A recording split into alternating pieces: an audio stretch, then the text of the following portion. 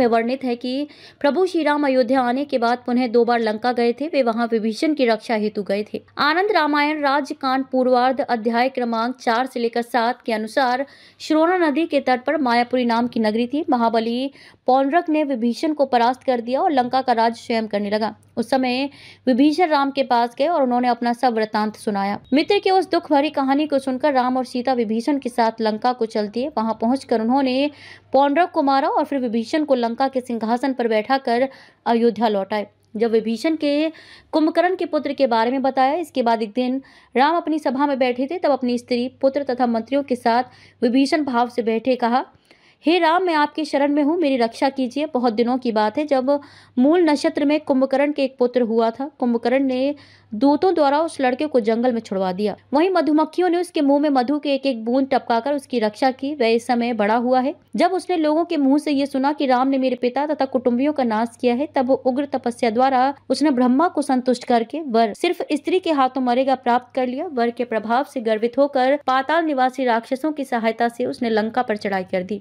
विभीषण ने छह महीने तक उसके साथ घमासान युद्ध किया। अंत में उसने उन्हें परास्त करके लंका पर अधिकार कर लिया। ऐसी अवस्था में विभीषण आधी रात को अपने पुत्र, स्त्री एवं मंत्रियों के साथ एक स्वयं के रास्ते से भागे। एक योजन दूर भागने पर ठहर गए, जहाँ रात्रि व्यतीत हो गई। जब आगे बढ़े और राम के पास अयोध्या आप पहुँचे, वह राक्षस मूल नक्षत्र में पैदा हुआ तथा वृक्षों के नीचे उसका पालन पोषण हुआ है, इसलिए लोग उसे मूल का सुर कहते थे। युद्ध करते करते एक बार उसने विभीषण से कहा था कि इस रणभूमि में पहले तुझको मारकर लंका पर अधिकार कर लेने के बाद मैं उस राम के पास जाऊँगा जिसने मेरे पिता तथा मेरे कुल का संहार किया है। संग्राम भूमि में राम को मारकर मैं अपने पितृ से उऋण हो जाऊँगा। विभीषण बोले, हे रघुनंदन, मैं जहाँ तक जानता हूँ, शीघ्र ही वह आपसे भी युद्ध करने के लिए आएगा। ऐसी अवस्था में आप जो उचित समझें, सो करें।